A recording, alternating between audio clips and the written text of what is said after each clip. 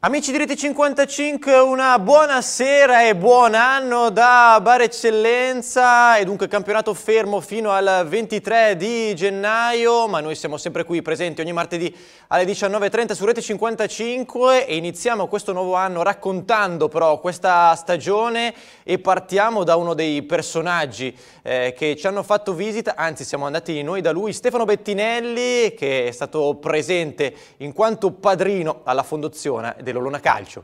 Quando nasce una nuova scuola calcio è sempre una bella notizia. È sempre una bella notizia, sì, perché diciamo che ormai i ragazzi eh, stanno perdendo un po' il gusto del gioco, del divertimento e sono queste le realtà che devono in questo momento attirarli e coinvolgerli di nuovo a calcare i campetti e non i, non, eh, non i divani della PlayStation. Ecco. Decisamente, fai vedere questa magliettina che ti è stata Ah, sì, donata. questa, questa maglietta che, un- che sarà un onore indossare mi è stata donata dalla società e in modo particolare dal- dall'amico Ambrogio non vedo l'ora di poterla indossare per venire anche qui a fare qualche, qualche corsetta intorno al campo e magari apprezzare il lavoro che stanno facendo gli allenatori con i bambini. Mi è già capitato di venire un paio di volte, di vederlo e devo dire che mi ha, mi ha anche un po' emozionato vedere quello che stanno facendo. Come sta andando adesso oltre confine?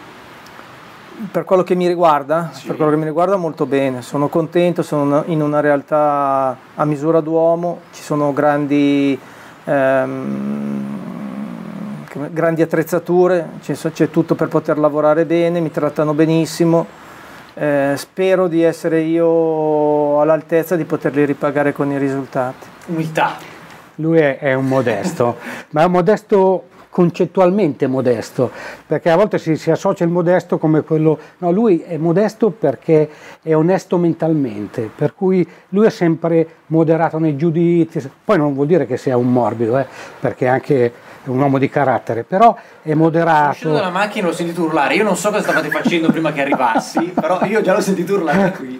No, Eravamo no. arrabbiati perché non arrivavi. Ah, vero, scusate, avete ragione, avete ragione. La vera rivelazione però di questo campionato di eccellenza è sicuramente la Castanese, tra i protagonisti c'è sicuramente Valerio Foglio, eh, uno che insomma è sceso in eccellenza dopo aver fatto la Serie B eh, per tante stagioni e allora da questi sgabelli ci ha raccontato com'è stato un po' questo salto. Valerio è tornato in eccellenza, ma non è che c'è tornato perché prima era in prima categoria, in seconda. Infatti. perché ha, diciamo che ha calcato per anni e anni dei palcoscenici importanti, ecco, ricordarli tutti diventa anche un po' complicato, però insomma eh, da Reggio Calabria a, a Grosseto, Sono- a Vicenza, divertito, diciamo che si è divertito con fior fior di allenatori, eh, tanto per rimanere nella mia categoria. eh, cito Mondonico perché Sì. è quello che credo sia da citare, insomma, eh, Assolutamente, che ricordo nel lui. cuore di tutti, quindi eh, io lo ricordo volentieri perché è stato un po', tra virgolette, l'unico, l'unico allenatore che mi ha fatto fare veramente bene in Serie B, nel senso che io ho fatto tre anni importanti in Serie B e li ho fatti nel, nel momento che Mondonico era vicino a me, quindi riusciva a trasmettermi qual- qualcosa che magari tanti allenatori non, non sono riusciti a farlo. Che società era così? Io ero all'Albino Leffe quell'anno, quegli anni là e quindi sono stati tre anni importanti per la mia carriera, ecco. Ma insomma, com'è stato, com'è questo salto dalla Serie B all'eccellenza? È chiaro che stiamo parlando di due realtà completamente diverse, ma ci si diverte in Serie B come in eccellenza, il calcio è sempre calcio. Ma io mi diverto sempre, cioè nel senso se non, se non mi divertirei non andrei neanche al campo, quindi io sono andato in eccellenza perché ah, sono andato a Legnano, ecco, se no non so se sarei sceso in eccellenza, quindi sono tornato a Legnano nella mia, nella mia squadra dove mi ha lanciato un po' nelle categorie un po' più alte, quindi eh, innamorato di questi colori sono tornato perché speravo di, eh, chissà, magari riportarli nel professionismo. Non ci sono riuscito per poco perché poi hanno, siamo arrivati in Serie D, poi Eh, dopo eravamo secondi con la Prosesso, hanno sospeso il campionato, la Prosesso è andata in Serie C, però sono stati per me quell'anno e mezzo importantissimi, ecco, per me è stata una, una vera favola, tra virgolette. Tornare in eccellenza però con la società che, con la squadra, tra virgolette, nel mio cuore, ecco. Alta protagonista assoluta di questa stagione sicuramente la Sestesi agli ordini di Fiorenzo Roncari, è stato per un anno particolare per i bianco-blu con il passaggio da Brovelli a Morello che ancora deve compirsi in questo 2022 e allora ascoltiamo un po' eh, proprio dal press eh, Alberto Brovelli questo passaggio e l'avventura in questo campionato. Come sta cambiando questa Sestese con eh, l'avvento di Mauro Morello? Eh, cosa cambierà dal punto di vista societario, ma insomma anche con il lavoro di Giorgio? Ma uh, guarda, io sono sempre del parere, questo non è una cosa che, che, penso oggi, che per fare una buona squadra e, e ottenere i risultati occorre, oltre a dei buoni giocatori, dei buoni allenatori, ci mancherebbe, ma occorre una struttura societaria che dia delle certezze dal punto di vista organizzativo, diciamo pure anche di serietà, di, di, impegno, eccetera.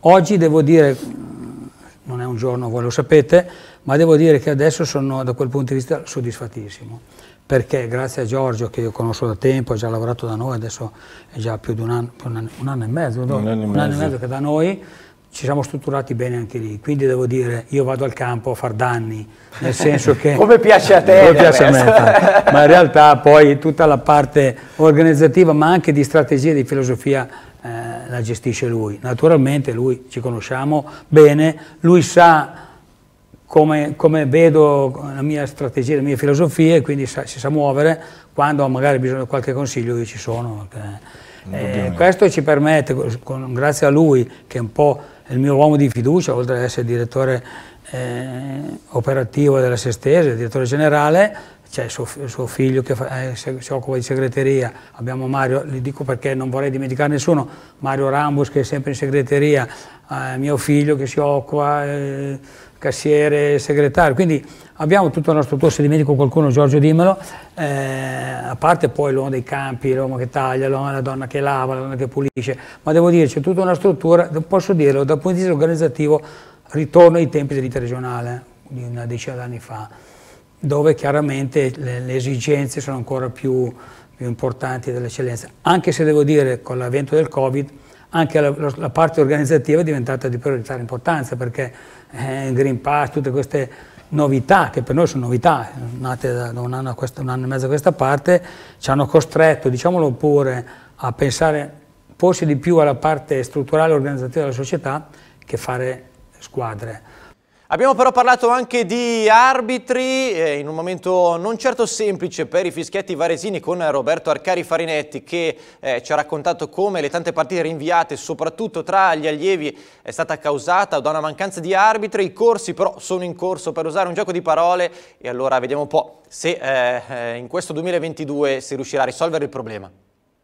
È un momento un po' delicato eh, per gli arbitri varesini, ma immagino non solo in tutta Italia, eh, perché abbiamo visto tanti rinvii a livello provinciale, soprattutto sui campi degli allievi, perché mancano i fischietti. Sì, esattamente, siamo un po' sotto numero, sotto organico a livello, a livello nazionale sostanzialmente, poi in alcune zone la, la situazione è un pochettino più evidente, un pochettino più drammatica, diciamo così, e in altri posti, in altre località invece è molto più, più tranquilla, ecco, c'è meno, meno, problema di copertura di gare. Eh, qui da noi nello specifico abbiamo un organico un po' sottodimensionato di tanto, eh, di un 30%, dove questo praticamente eh, deve, deve, essere gestito, gestito, proprio a livello numerico di gare, perché non, non avendo copertura con, con, con, gli arbitri diventa logicamente un dover eh, cercare di, di, di, rimandare, rimandare dove in settimana come sta succedendo sostanzialmente, quindi quello che sono i turni infrasettimanali sono eh, sostanzialmente gare del, del, weekend che sono posticipate durante, durante, la settimana. Gli stessi arbitri che fanno le famose doppiette, quindi sabato e domenica come copertura gare, lo fanno poi anche durante la settimana. Questo è un, è un po', il trend che dobbiamo utilizzare in questo momento. Eh, è pur vero che abbiamo i corsi arbitri adesso in, uh, in, svolgimento, a partire dal prossimo mese di dicembre le varie sezioni faranno, faranno gli esami, quindi diciamo che arruoleremo de, de una, nuova, una, nuova, forza che possa andare a implementare questo numero, questo gap che si è creato insomma, tra dismissioni e purtroppo Covid ha creato, ha creato un po' questo, questo problema eh, tendenzialmente dovrebbe, dovrebbe, andare a risolversi la situazione diciamo, col girone di ritorno. Ecco. Abbiamo fatto i conti in tasca il campionato alla fine del girone d'andata, l'abbiamo fatto con Mariella Lamonica, collega di Varese Sport. Chi vincerà questo campionato? Senti, chi ti ha impressionato di più? Ma di quelle che ho visto, o forse anche insomma di quelle che ho visto e che sto tenendo d'occhio, ecco, classifica alla mano, eh, mi piace molto la Castanese, dico la verità.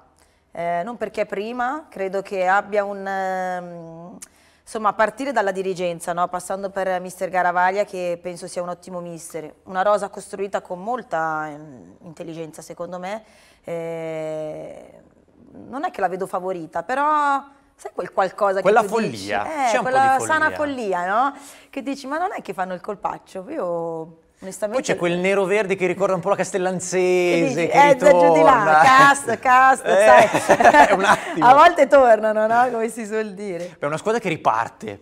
Io ho visto Sì. fare contro la Varesina di quelle ripartenze incredibili. Incredibili. Cioè, una squadra veloce, velocissima, che poi contro la Varesina ha pagato perché eh, la Varesina in quell'occasione è stata capace di gestire palla e, cinica e far forse, sfuriare no? un po' eh, Ah, questa, ok. questa squadra. Eh, però quando riparte non ce n'è per nessuno. No, davvero, davvero. Ha, come dici tu, questa sana follia che può essere, può essere croce delizia, eh, però a volte se, se riesci a tirarla dalla tua è un'arma di quelle davvero... Bisogna saperlo fare molto bene e portarla Eh, sì. avanti perché poi... È ancora lunghissima. No, eh, lunghissima, anche perché non siamo abituati, siamo passati da un campionato Superlega Sì, a un esatto. campionato eh, non grande. so se è il momento di parlare di Superlega in questi No, giorni qui. non eh. parliamo di Superlega. Dopo quelle urne. Se voi parliamo di, di sorteggio. Andiamo a sorteggiare noi la prossima volta.